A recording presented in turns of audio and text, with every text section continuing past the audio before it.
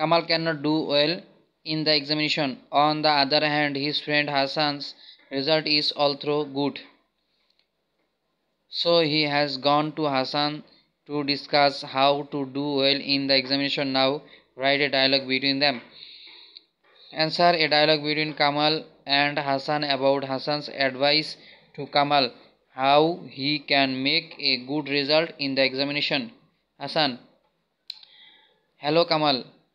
How are you? Kamal Very well. Thank you. And what about you? Hassan Fine thanks. Kamal Hassan I am not happy with my result. I must do better. Can I have a word with you about this? Hassan Oh sure. Kamal you are always been on top in your exams. What's the secret of your brilliant results? Tell me about those things. Will you? Hassan, certainly to do well in the exam, you have to study regularly. You must not cram anything without understanding. You should make your own notes and revise them frequently.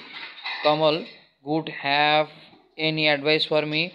Hassan, the thing which you need to do most is to have a fa fairly good command over language. Kamal thank you.